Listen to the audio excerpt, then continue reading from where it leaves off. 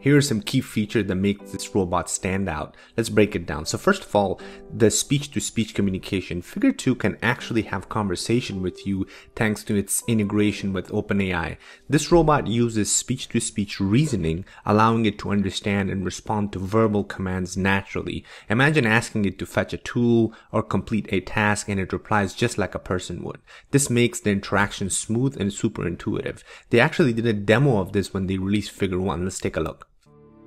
I see a red apple on a plate in the center of the table, a drying rack with cups and a plate, and you standing nearby with your hand on the table.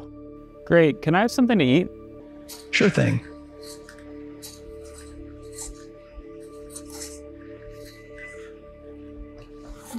Great. Can you explain why you did what you just did while you pick up this trash? On it. So I gave you the apple because it's the only uh, edible item I could provide you with from the table. Great. So, based on the scene right now, where do you think the dishes in front of you go next? The dishes on the table, like that plate and cup, are likely to go into the drying rack next. Great. Can you put them there? Of course. All right. So, how do you think you did? I, I think I did pretty well. The apple found its new owner, the trash is gone, and the tableware is right where it belongs. I agree. Thanks, Figure One. You're welcome. If there's anything else you need help with, just let me know.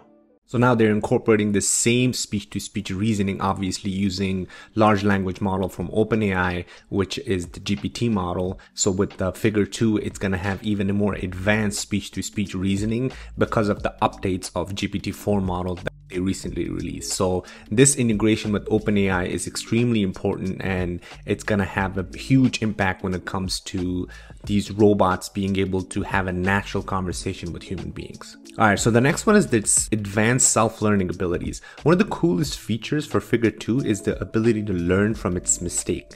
So Figure 2 can self-correct and get better over time, making it more efficient the longer it operates. And again, in this self-improvement aspect means that it's not just performing tasks, but actively getting smarter and more capable with each use, exactly like a human being would.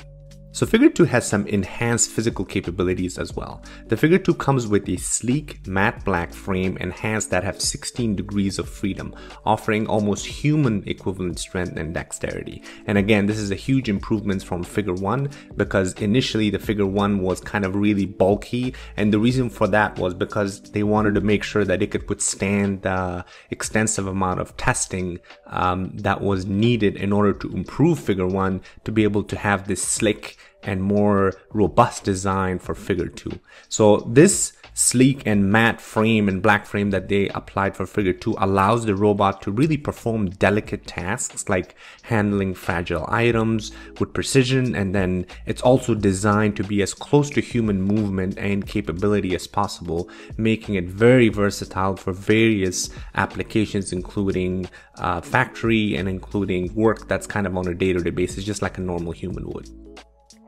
Figure 2 also has an improved battery life compared to Figure 1. So Figure 2 got equipped with a 2.25 kilowatt hour battery, uh, which enjoys a 50% increase in runtime, giving it almost about 7.5 hours or 7.5 hours of operational time between the charges. And again, this extended battery life ensures that it can handle long shifts and continuous operations without frequent interruptions. Figure 2 also comes with a more sophisticated vision system compared to Figure 1. So Figure 2 is outfitted with six AI powered cameras that provide a high level of visual understanding. Again, these cameras allow the robot to be able to navigate complex environments and interact with objects accurately. And based on the demo they did for Figure 1, the figure one had also the ability to really uh, recognize the objects around it and have interactions with it and also answer questions based on the observation. So the figure two update actually increases that ability to further um, have this advanced vision system, which again is a key for tasks that require detailed visual processing and interaction, making figure two highly effective in dynamic settings.